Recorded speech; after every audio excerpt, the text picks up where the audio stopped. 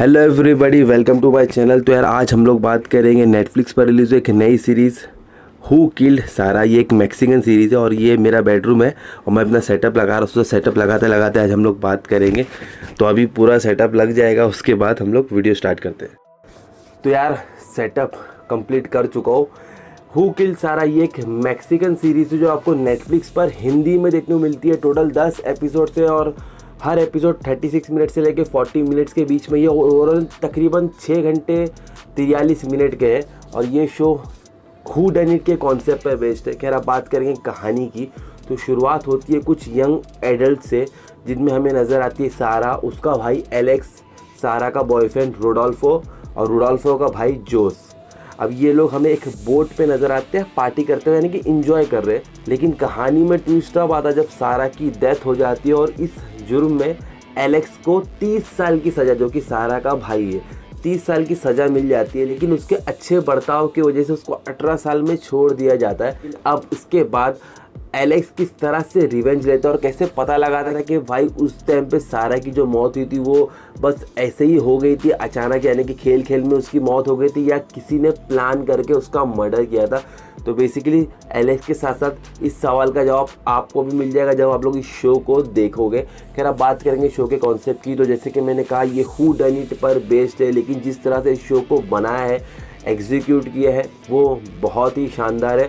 और 10 एपिसोड होने के बावजूद भी ये शो में आप अभी तक गैस नहीं कर पाओगे कि भाई आखिर इसके पीछे है कौन कल्प्रेट हालाँकि ये पूरी की पूरी एक फैमिली के इर्द गिर्द घूमता है। इस फैमिली में हर एक मेंबर ऐसा है जिस पर आप लोग इजीली शक कर सकते हो।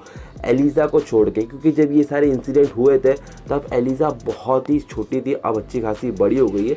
लेकिन उस पर आप डाउट नहीं कर पाओगे। लेकिन उसके अलावा सीजर की फैमिली और उससे रिलेटेड कुछ लोग, इन पर आपका जो एक शक है, वो कंटिन्यूस बढ़ता रहेगा, जैसे कि सीरीज़ आगे बढ़ती रहेगी। उसके अलावा शो में अगर कैरेक्टर्स की बात करेंगे तो हर एक कैरेक्टर को बहुत ही अच्छी तरह से लिखा है, और उनके अलग अलग आपको प्लॉट्स देखने को मिले, और हर एक प्लॉट मुझे काफ़ी ज़्यादा इंटरेस्टिंग लगा। सबसे ज़्यादा इंटरेस्टिंग मुझे जोस और उसके बॉयफ्रेंड का और एक और एंगल है उस, उनके बीच में, वो प्लॉट मुझे सबसे ज़्यादा अच्छा लगा। हर एक कैरेक्टर को इतना अच्छी तरह से लिखा है कि हम उनकी सिचुएशन को या वो क्यों ये किस वजह से कर रहे हैं? वो सारी चीज़ें हमें बहुत ही अच्छी तरह से समझ में आती है और इस वजह से ये शो आपको इंटरेस्टिंग भी लगता है कि सिनेमाटोग्राफी मुझे अच्छी लगी। बहुत सारे एडल्ट सीन है, बहुत मतलब बहुत सारे एडल्ट सीन है जो आपको हर एक एपिसोड में देखने को मिलते हैं और वो इस शो को 18 प्लस बनाता है भाई। यह शो का बीजेम मुझे एकदम परफेक्ट लगा। एक्टर्स का performance up to the mark लगा। यानी कि जितने भी एक्टर्स हैं, उन लोगों ने अपने हिस्से के पर्टिकुलर रोल को एकदम बिलीवेबल इतना रियलिस्टिक वे में निभाया कि मतलब आप ये रियलाइज़ ही नहीं कर पाते कि वो लोग एक्टिंग कर रहे ऐसा रहता है कि वो लोग रियल में भी इसी तरह के या वो अपने आप को ही प्ले कर रहा है। बस अंदाज़ा लगा लो किस लेवल का परफॉर्मेंस होगा। एडिटिंग शो की इतनी खास नहीं की गई, क्योंकि यार, मुझे नहीं लगता कि ये शो छः, साढ़े छः घंटे वर्थ वॉच है। मेरे हिसाब से अगर इस शो को एडिट करके, इसके जो एपिसोड्स उसकी लेंथ और थोड़ी कम करके अगर पाँच घंटे के रखते ना तो सच में ये शो और भी ज़्यादा अच्छा होता और यही एक मुझे माइनस पॉइंट लगा।